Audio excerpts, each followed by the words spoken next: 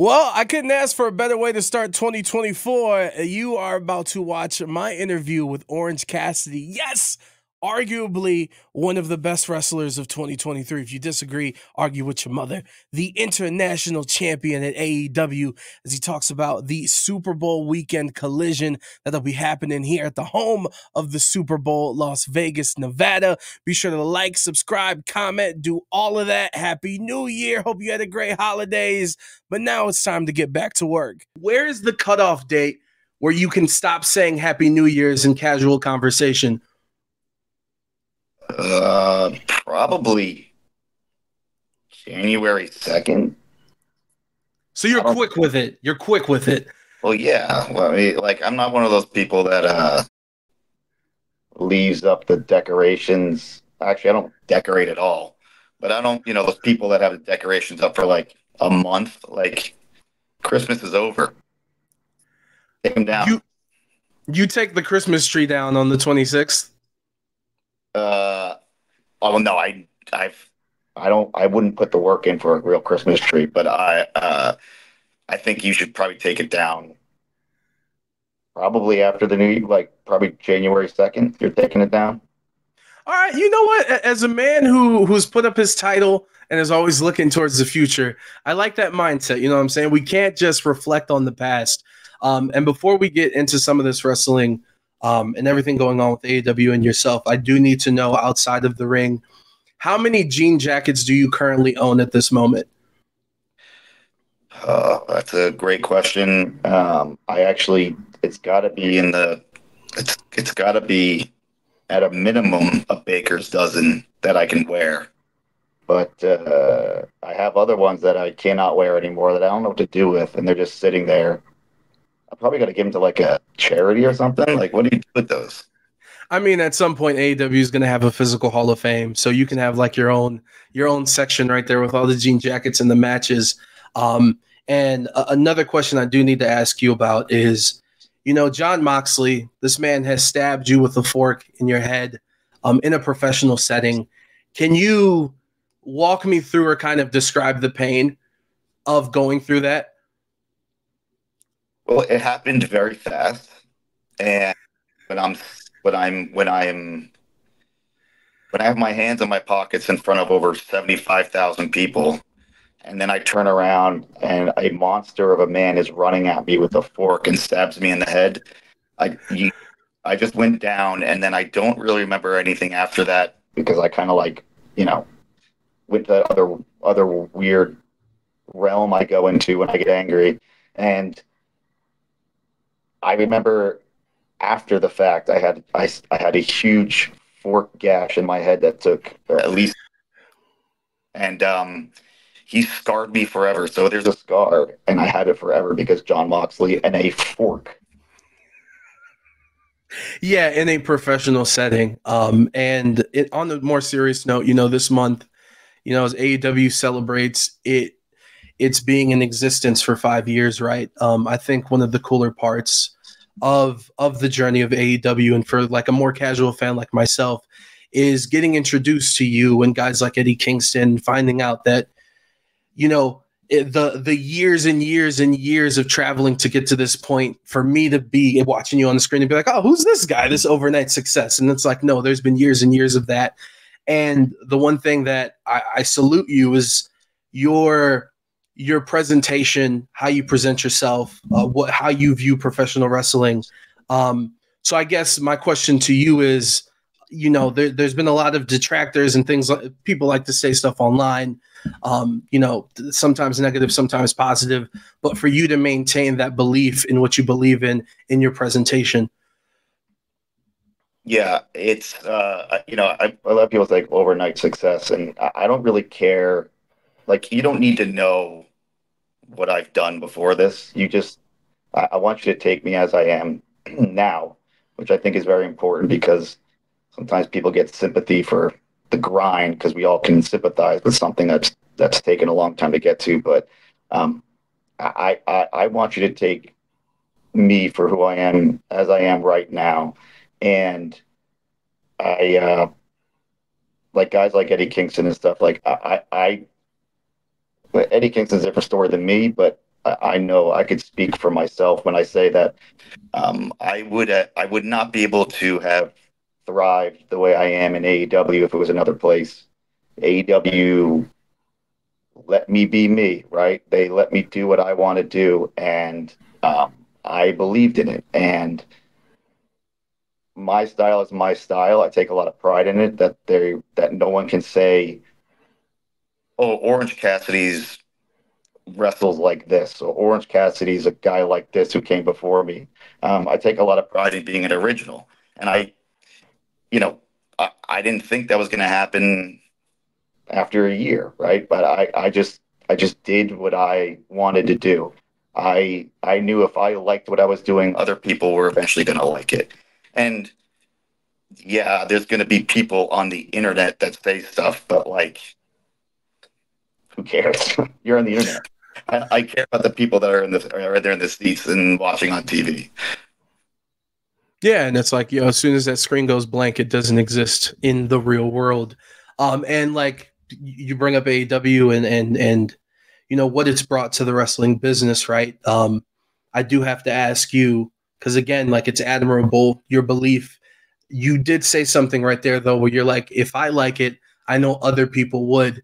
So if there's someone out there that's watching this interview that is, it doesn't matter what approach. If they're trying to follow your path, if they're trying to be Bray Wyatt or something that we haven't even thought of, is the advice do something that you like? Would that be the advice? Well, it's kind of silly that you would do something that you hated to get to where you are. And I, you know, I don't, I'm not saying that there weren't compromises. I'm not saying that everything I do is 100% what pops out of my brain. I'm saying that I I would figure out the way that to do the thing that I want to do the best way that I liked it. Um, I, I think it's silly to think that people don't compromise. I think there's there's there's a give and a take, right? Yeah. And I think when you shut yourself down from the comprom- from compromising, then you shut yourself down from other people and and and really constructive criticism, right? And I think that's something we we don't uh, take into consideration. And um, I think some of the best art that is made is because you have limitations set on you, which makes you become even more creative. Um, so I, I, I think if if you figure out a way to to do the thing you want to do within the constraints that you have, I think that'll be successful. And you did bring up here at the beginning Wembley Stadium, 75,000 people. Then you have Dynamite uh, with the fantastic promo to close out the show.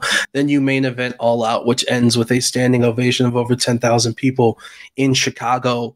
When, when I look at your AEW career specifically, was that the proudest week, in your opinion, for you? Sure, uh, sure. And I also think it was a very special week for AEW. And I, you know, I was at, I had my match against PAC at Revolution 2020, right before the world shut down. Started to get a momentum, and people, that was the first time people saw me wrestle, I think.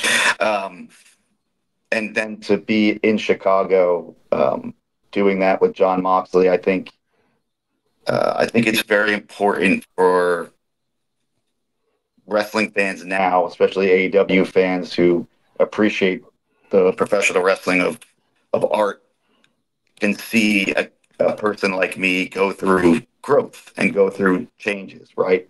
I think it's important that we we show our changes and the things that we've gone through to become different people in the end. And I I I think if you looked at those years up to that point with Jon Moxley, you'd be like, oh yeah, that's that's not the same Orange Cassidy that was that was here, but it still is Orange Cassidy, and I think that's very very important. Is is that something that you're thankful for to be a part of that? Like to to not only was it cool from one perspective to be like you're a workhorse workhorse for the company. Moxley is you guys don't take vacations, but also that you got to go up against someone that brought that out of you. Uh, yeah, I mean, Jon Moxley is is is a is a leader for AEW. Um, I think a lot of people look to look to Jon Moxley for um, leadership. I um, I am too like Jon Moxley, a person that leads by example, and I saw the example that he was setting, and I was like, you know what, I want to do that. so, you know, I tried to, uh, I tried, but no one could be Jon Moxley because there is no Jon Moxley. But uh, um, yeah, no, he, uh, I am forever in his debt for him changing and bringing out this version of me that I, that is clearly a better version because I still have this thing and I beat. Oh, there it is. It's beautiful. It's shiny. Everyone can see it. February 11th, Saturday night. I'll show it so it's like you can see it. There it's it really nice. I don't know why. It might be that, but it's beautiful. You can check it out February 11th, Saturday night for the first time. AEW Collision here in Vegas the night before the big game. Um, and the, to wrap up kind of all my questions of going down memory lane, uh, pardon me, that's been the theme of the interview with the five years of AEW. Um, I, I, know that you've spoken about um, how the Bucks kind of vouched for you and brought you into the company. And of course, you can look at Kenny, you can look at Cody, um, and, and, few of these other guys that were with you building this company. Um, what are some words that you can say about them to like, I don't know, man. It's just, I hope you guys realize like the impact you guys have had on the sport and the fans to be able to give us this option and like how cool that is. Yeah, I, I, I owe, I owe it all to them. Like I, I, like I said, this it, it this place is truly different. We are truly an alternative. And if you know anything about the Young Bucks, Kenny Omega, like they're alternative. They they do what they want to do, but they're the most they're they are genuine people. And I um I, I don't think AW would be AW obviously elite without uh, without the elite, but they they truly are a, a, a leader, and and I I never they've never lied to me at all, and I I really think they are the soul of AEW, um, because a lot of their values, um, that started this company, I still hold uh, to for my everyday life and and, and AEW. I know the holidays are over, 2024 is here, and we can't forget about grandma hooking you up for Christmas with a lot of cash. And now you need to figure out, well, what am I going to spend it on? I have a suggestion Zip Chair, Zip Chair Gaming. Whether you need furniture for the man cave, the living room, wherever around the house, sofa, couches, they got you. But let me speak to you from my personal experience, and that's where Zip Chair Gaming comes in. They're gaming chairs, best in the business. I spend a lot of hours, whether I'm here at the station in this studio or my studio at home, doing interviews, doing my shows, recording, editing, all that stuff, gaming, whatever it is, you need to improve your quality of life. ZipChair can help you. Plus, we live in a world where branding is so important for everybody, right? The customization is amazing. There is nothing like sitting in a chair with your own logo, like you're in the locker room in any pro team. Get hooked up zipchairgaming.com and be sure to use that discount code Adrian A D R I A N for an extra 10% Zipchair Gaming. Uh, I'm gonna I'm gonna hit you with a speed round here coming up, but the one question I do need to ask you, and then we've been lucky enough to have Samoa Joe and others on the show recently, and I was lucky enough to be in LA for full gear. And I got to tell you something, man. Being a fan, uh, I've never been in an environment in an arena that was just in complete shock, like they were when Swerve Strickland and Adam Hangman Page had their Texas death match. Um, when you're back there watching, what was your reaction live as you were watching it? Uh, said, um, I believe I said out loud, uh, nope. nope. and I think I said half. So yeah, that yeah no I'm I uh, yeah I steer clear of that, and that's and that's coming from someone stabbed with a fork. yeah, you've got the fork, but the rest now we're out. And you know what? Honestly, I don't think anyone watching this or listening to this right now can blame you. Uh, before we get you out of here, let's get you into the speed round. Um, you know, kind of self-explanatory. I ask you questions, answer as quickly as you can. We'll start off with this: memories of your first match ever. None. I don't have any. I don't really know. I don't remember. Strangest place you've ever wrestled. China. Will Ben Stiller walk out with Kris Statlander in 2024 for a match on AEW? Fingers crossed. Hopefully. Weirdest person in the locker room. Weirdest person in the locker room? Yes. Well, there's there's a uh, few now that I think of it. Uh, the weirdest person in the locker room. I mean, I can give you, a, you know, I think the weirdest person in the locker room is probably Bryan Danielson. And why is that? I can't tell you that. fair enough. Fair enough. I got to earn my stripes. Two more. The debate with Jericho or the promo leading into All Out. If I made you pick one, what are you going with? Uh, the promo with All Out because I did way too much research for that first one. I never want to do. And then my final one. I don't know if you follow baseball or not. Shohei Ohtani recently signed with the Dodgers. Uh, I think it was like eight hundred million dollars, the biggest sports contract in North American history. Um, if you could give a similar contract to one person in AEW, who would you give that to? Orange Cassidy.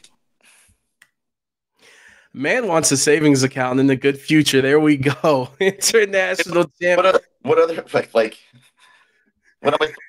Will Ospreay? I, you know, me. I'll take it. I mean, what, I'm, other people do other people say other answers? Like, what is that? Well, it's the first. It's the first time I've asked it. Uh, now that now, now that we've, I was trying to like make a special one for you, but now that we've talked this out in person, and I'm going to keep this in. We're pre-recording this. I'm gonna keep it in. But fair enough. Everyone should say themselves if they're smart. You know what I'm saying? Well, I mean, if you put value on yourself, right? I don't know. That's that's a little. Eh. Eh, true, fair enough. You keep the money, you enjoy it, you deserve it, my friend. Orange Cassidy joining us, international champion. He'll be dollar. He'll be at the Dollar Loan Center February 11th, the night before the big game, AEW Collision. That title, go get your tickets at AEWTix.com. OC, thank you for the time, sir. Thank you, and uh, you know maybe if uh, if Shibata gets his stuff together, we you could see me and Shibata rolling craps or at the roulette table.